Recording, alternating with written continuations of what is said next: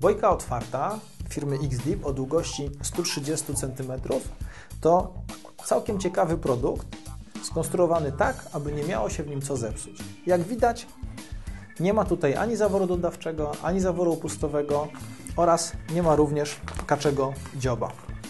Bojka pompuje się oczywiście za pomocą automatu oddechowego w ten sposób. Pod wodą e, świetnie się ona napełnia i pnie w górę. Natomiast to, że e, żadnych elementów wystających nie ma, powoduje, że tą bojkę można bardzo łatwo sklarować i mieści się ona praktycznie w każdej kieszeni.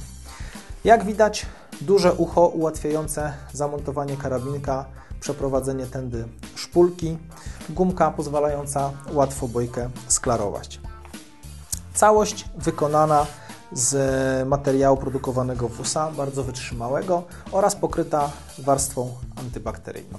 Jest to świetna bojka dla osób, które szukają prostego rozwiązania, e, o dużej widoczności. Jest to długa i e, szeroka bojka. Tutaj mamy taśmę Solas, która rewelacyjnie e, jest widoczna po oświetleniu w nocy. Jest też tutaj miejsce na umieszczenie informacji, czy też światła chemicznego, czy małego stroboskopu, który będzie zwiększał naszą widoczność. Zasadniczo bardzo prosty element naszego sprzętu, niemniej, jak dobrze wiecie, bardzo przydatny, dobrze wykonany. Jednym słowem polecam. Obecnie firma XDeep produkuje trzy rodzaje bojek: zamkniętą 90 cm, otwartą 130 cm i zamkniętą 140 cm. Wszystkie bojki wykonane z tych samych wysokiej jakości materiałów i z tą samą dbałością o szczegóły.